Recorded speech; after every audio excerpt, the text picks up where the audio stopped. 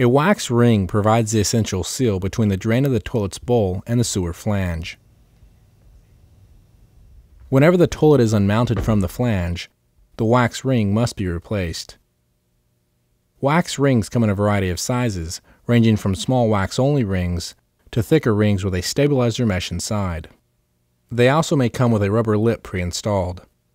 Thicker rings will provide a better seal between the toilet and the flange when there is any kind of flooring that increases the height of the toilet. When the wax ring is purchased, it should also come with a set of toilet mounting bolts. For an alternative to wax rings, some companies sell what is called a toilet seal or bowl gasket.